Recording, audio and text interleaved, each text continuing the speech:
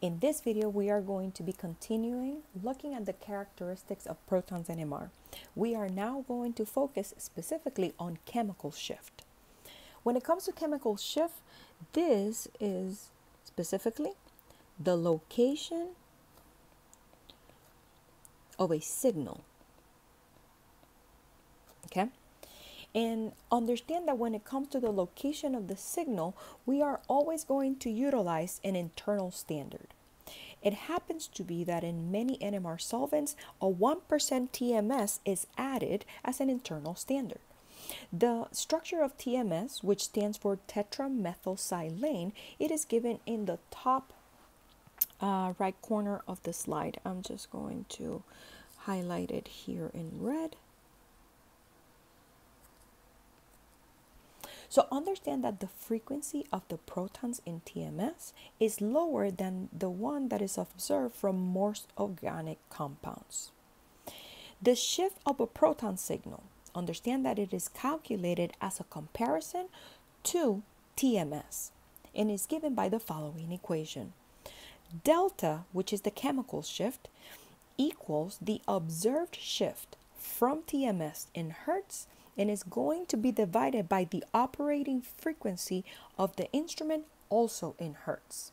So understand that now we are going to utilize an example of what happens to the protons and let's uh, do the example of benzene when you utilize different instruments in order to see what are going to be specifically the um, the chemical shift for the proton in benzene. Now, Benzene, remember that the structure of it is as following. It is a hexagon that has alternating double bond, single bond, double bond. And in benzene, even though there are six protons, I'm just illustrating one here. But remember that there are six of them and they're all equivalent. So for benzene specifically, if we're looking at the proton NMR on a 300 megahertz instrument, then the observed shift from TMS in hertz is going to be 2181 hertz. If we divide that by the operating frequency of the instrument, which is 300 megahertz, again 300 megahertz then we are going to be changing it to units of hertz. So we are just going to be substituting the mega value by the numerical value that it contains. When we do this division as you can see the result is going to be uh, 7.27 times 10 to the negative 6 this doesn't have units because we're going to cancel the hertz. What if now we look at the proton nuclei for benzene, but in a different instrument that has a different frequency. So again, utilizing the same equation for benzene, so looking at the protons in benzene, but now gathering it uh, on a 60 megahertz instrument, understand that the observed shift from TMS is going to be now 436 hertz. If we divide that by the operating frequency of the instrument, understand that we are going to divide that by the 60 megahertz, we obtain the same value. The hertz of the signal is different in different instruments, as you can see illustrated in the equation. But understand that the shift relative to TMS, which that is given by the symbol delta, happens to be constant.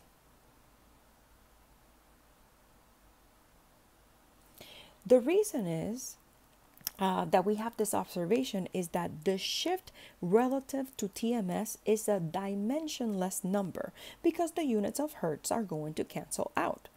Now, understand that the units of delta are often given as parts per million, in other words, ppm, and that is indicating that a signal is going to be reported as a fraction of the operating frequency of your spectrometer. Now, understand that if we're dealing specifically with a proton nuclei, then the signal that will appear on that uh, NMR for the proton uh, spectra is going to be between the units of 0 to 10 ppm.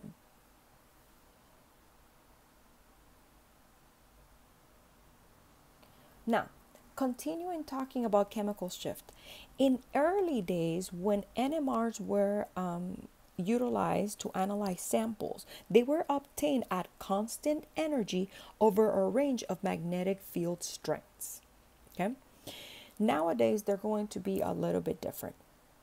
When it comes to looking at uh, the field strength, understand that as you can see, TMS is at zero. That's why it's our internal standard. And then as we are closer to that zero, understand that that is known as the upfield area. And if we are going from zero into larger numbers, that is known as a downfield. Okay? So remember, downfield refers to low field strength, upfield refers to high field strength. Okay? Now, understand that on the upfield part of a proton NMR, we're going to see the shielded protons. On the downfield area of our proton NMR, we tend to see the de-shielded protons. Understand that shielded protons require a stronger external magnetic field to be excited at the same energy as these shielded protons. Remember, when a proton has higher electron density, meaning that it is shielded, it all occurs because the electrons that are surrounding the nucleus are going to create their own magnetic fields. So the applied external magnetic field is going to be felt less for shielded protons when compared to de-shielded ones. And again, remember that this shielding and de-shielded is always in reference to the nucleus of a particular atom. And here we're just focusing on protons because we're talking about proton NMR. Currently, when NMR um, uh, it is utilized to analyze samples, it is done at a constant field strength over a range of energies. Okay, now one of the things that we also have to point out in this whole idea of upfield um, in an NMR spectra or downfield in an NMR spectra is that shielded protons have a smaller magnetic force acting on them. And remember, uh, when we are thinking about it, this is in relationship to the nucleus itself. Remember that that nucleus, if you have a shielded proton, um, then the electron density it is higher so the applied magnetic field is going to be felt less when compared to a de-shielded proton okay? So understand that shielded protons have smaller energy gaps and absorb lower energy radio waves. So that's why we have um, the low energy radio waves are found upfield in our nmr while higher energy radio waves are going to be found on up oh sorry downfield in our uh, NMR spectrum okay? So upfield is closer to zero downfield is away from zero towards the higher values.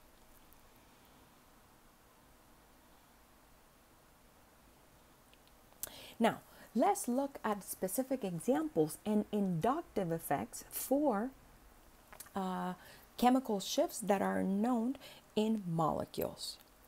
Now we are going to look specifically at what happens to protons when they are in environments in which now they are exposed to halogens. So typically alkane protons give signals around 1 to 2 ppm, okay? Understand that the protons can be shifted downfield, so toward larger values, uh, in the NMR protons when we have nearby electronegative atoms. And all of that is caused because of de-shielded. So let's look at this example. So I'm just going to label this example uh, with a letter A, okay? And we're going to be comparing all of these values. So I'm just going to be creating a line to separate these molecules, Okay, so we're going to be looking at methane compared to methyl iodide, methyl bromide, methyl chloride, and even methyl fluoride. So, one of the things that um, we need to think about when we're considering this is that all of these halogens have differences in electronegativity. It happens to be that as we look at the values for electronegativity, I'm not going to write them down, but remembering from general chemistry the electronegativity trends, remember that when we go from iodine up to fluorine, there is an increase in electronegativity.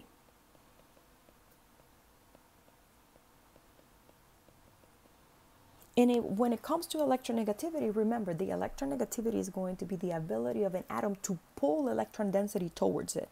So on each of these cases, our halogens are going to be pulling electron density towards them in each of these cases.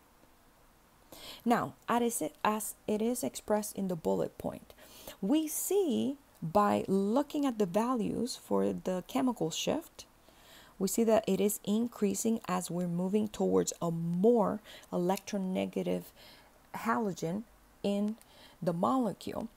We see that now the chemical shift is shifted more downfield, and we know that it is because of de-shielding specifically.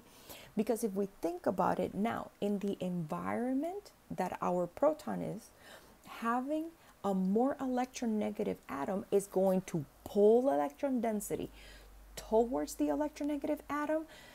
And in consequence, what happens is that now there's less electron density around our proton, and that's why it's de-shielded. And in turn, that means that it's going to be shifted more downfield.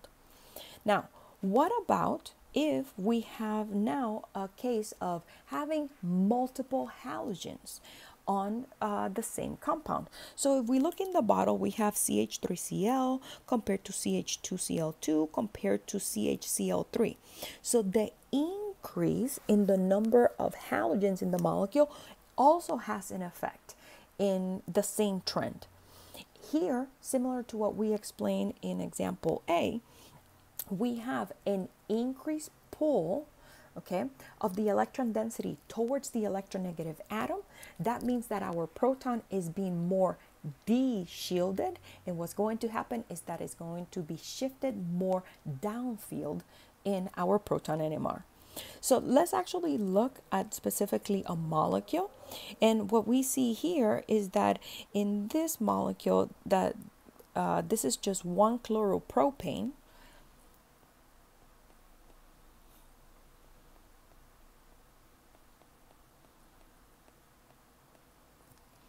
If we compare the carbon alpha to carbon beta to carbon gamma, each one of those protons is going to give a signal. Now, where do those signals appear? As you can see, the one that it is the, the carbon, in this case carbon alpha, because it's directly attached to the chlorine, is going to be shifted more downfield in our um, proton NMR because we can see the value in the ppm. Now, as the carbon atoms with hydrogens move away from that electronegative atom, as you can see in carbon beta, then those protons are going to uh, be appearing more upfield, meaning towards zero in our NMR spectra. So, in general, the take home message from this is that if we have a particular chemical shift, understand that electronegative atoms are going to just reduce that electron density around that proton. And when that occurs, your protons are more de-shielded, meaning that they are going to be appearing more downfield in the NMR spectra. Now, there is a way to predict chemical shifts, okay? And as you can see, we can start with the standard ppm for the type of proton that you have. You can consider, okay, do I have a methyl? Do I have a methylene? Or do I have a, a methine uh, proton? So as you can see, specifically, they have a particular ppm that they do appear. Now, there is a correction that you guys need to make on the slide. It's not on table 16.1, that is going to be in uh, the second edition, but if you have the third edition, it's going to be table 15.1. Um, you can utilize this table to actually adjust the ppm depending on the proximity to certain functional groups. So just be aware that when it comes to ppm, we actually have a table and we can determine the relative chemical shifts for the functional groups that we are commonly going to be working with in organic compounds.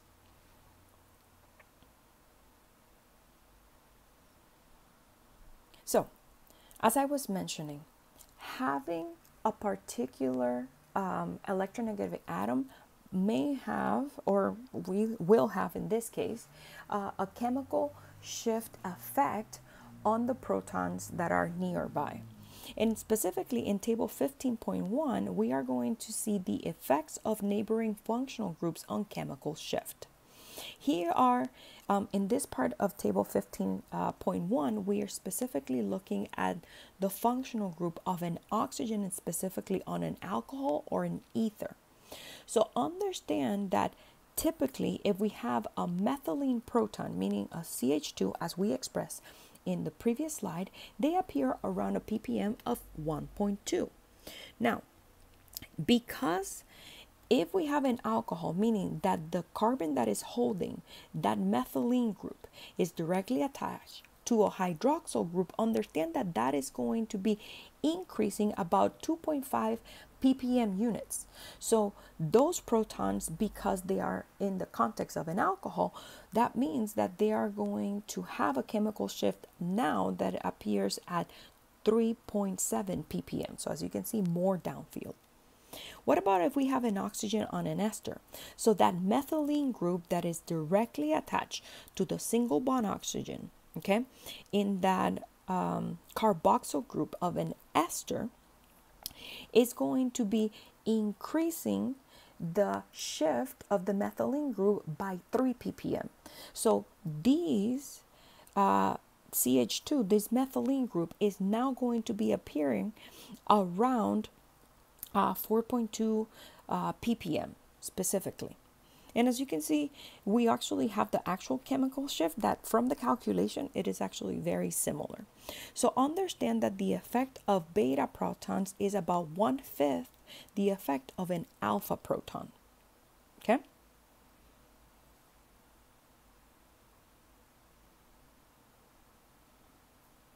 Now, understand that the next thing that I want to mention when it comes to the effects of nearby functional groups on chemical shift, the last one that I'm going to point out is carbonyl groups. So if you have a methylene group, uh, a CH2, next to a carbonyl, understand that that is going to increase the chemical shift by 1.0 ppm okay? So if we do a rough estimate as you can see you can estimate to see them around 2.2 but the actual chemical shift for this molecule it is uh, 2.4 so even though um, these uh, references are useful when it comes to nmr understand that we have handbooks that we have tables that can be found online for specifically what are the chemical shifts for the protons in a particular uh, functional group